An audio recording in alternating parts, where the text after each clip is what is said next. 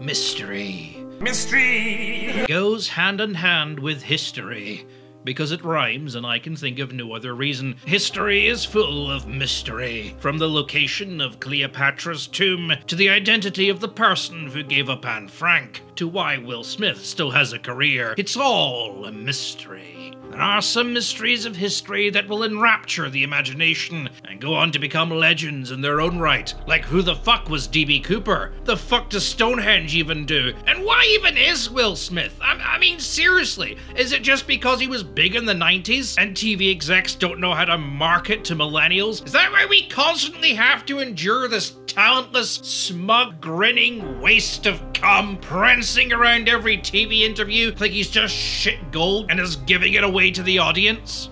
Or is it because he's black? When you're a fat arsed, rich, white old TV exec who made his millions exploiting people of colour, and when it's suddenly fashionable to have a lot of diversity in your TV shows, those same people you exploited who have now made it big are suddenly less willing to answer your calls. But Will Smith, he always picks up the phone. Anyway, history is a mystery. Future is also a mystery, and fuck it if I know what's going on in the present.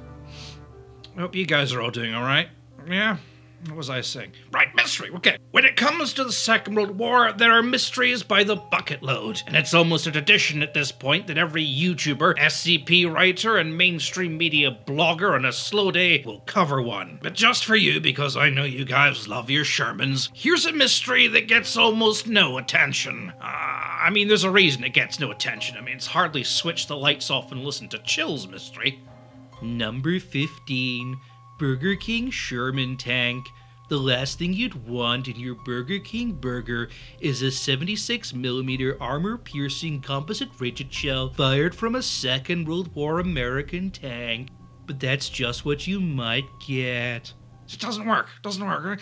Uh, But this is a legit mystery, and it has never been solved. Even today, there are numerous, numerous historians lying awake at night, clawing at their silk bed sheets, wondering what it all means. And perhaps you can help them. Perhaps you can solve this 30 year old mystery.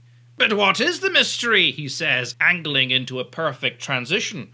The year is 1991. A young historian, naive and full of wonder, visiting an outdoor tank museum, notices something on a displayed Sherman. Curious as to what it is, he calls over one of the museum staff, but they don't know. In fact, they've never seen it before. The two ask several more senior members of staff, but no one knows what they're talking about. Soon they are joined by the museum curator, who pulls out his copy of the Sherman Tech Manual, but alas, it makes no mention of this mysterious object. Neither do any of the technical manuals. Heck, it's not even on the blueprints. Uh, They shrug it off as a mystery.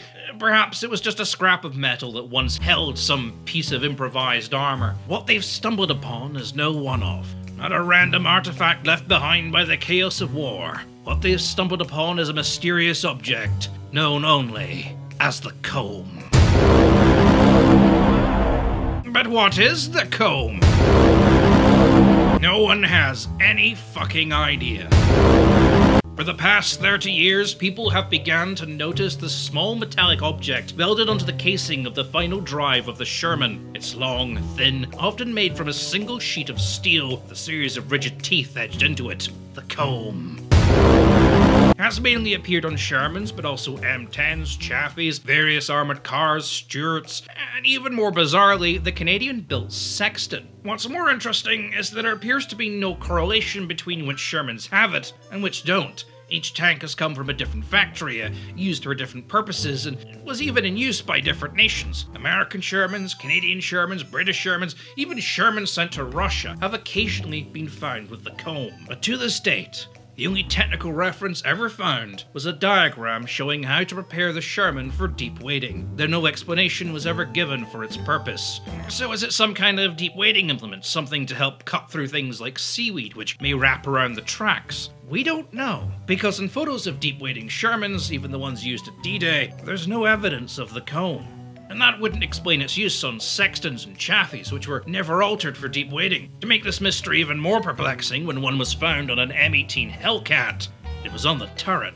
To date, there are numerous theories of what this thing might be, from a wire cutter to prevent barbed wire tangling up in the drive wheels, to a tool for scraping the mud off the driver's boots, to a bottle opener. But as of yet, only three theories have ever truly held water. Theory 1 was that it was a latch for quickly releasing a towed trailer from inside the tank.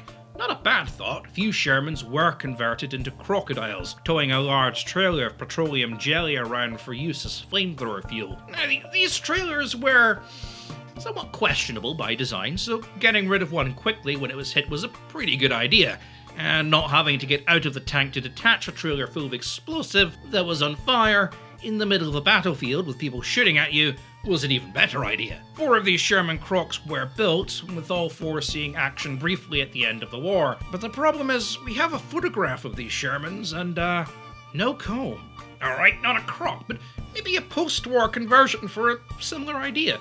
You see, Shermans are quite rare, in spite of them being made by the literal fuck ton. After the war, most of them were scrapped but a few were converted into civil engineering machines, most commonly excavators, diggers, tractors, and mining vehicles. And all of those were bought back by history enthusiasts and reconverted into Shermans, so it could simply be a leftover addition made during these conversions. I mean, yes, but that doesn't explain why we keep finding these things on other tanks, you know, ones that were never converted into mining equipment. Theory 2 Aliens!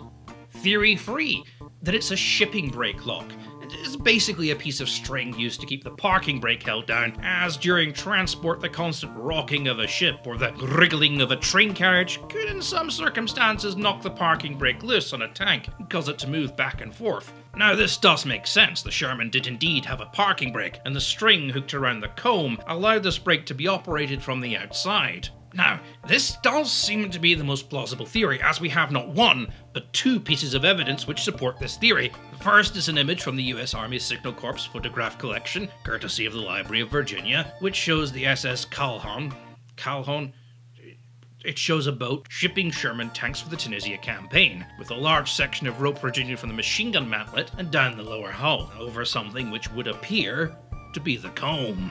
The second piece of evidence is a sketch found in the National Archives of Ottawa, I hope I'm saying that right, Canada. This details a parking brake bracket affixed to a Canadian ram tank. According to what information we have available, these devices were supposed to be fitted to the Grizzly tank, that's a Canadian copy of the Sherman tank, with a few minor alterations, in preparation for shipping them overseas. However, no Grizzly tank was ever shipped overseas and the very few extremely rare examples of the Grizzly we have left do not have this device. If the device was actually a parking brake bracket used for shipping, then, then surely this device should be on every Sherman, not just a handful. In fact, we've got pictures of Shermans that were in Tunisia, and absolutely none of them appear to have this bracket fitted. To add more nuance to the mystery, a Sherman tank that was transported in a ship that was torpedoed and sank was recovered in 2015. And would you believe it? No comb.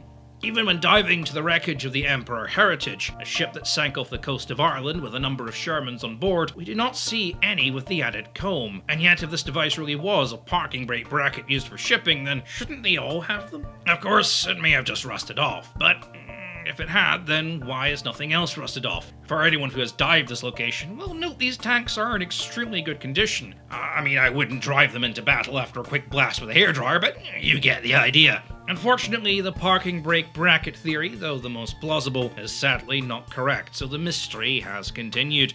Pressing even to this very day, historians left, right, and centre, clawing at their bedsheets, screaming into the night, unable to sleep as the normie peasants of society continue on with their day to day lives, blissfully unaware that just beneath the surface lies the greatest mystery in history, still yet unsolved.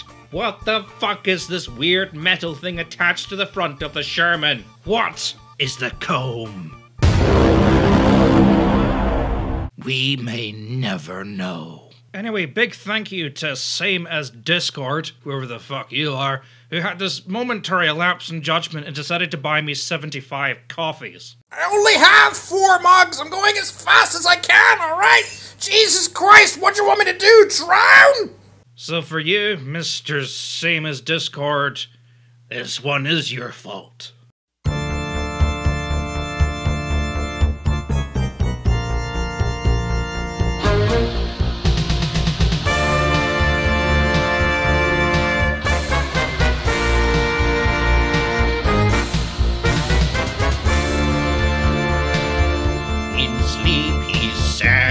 and me.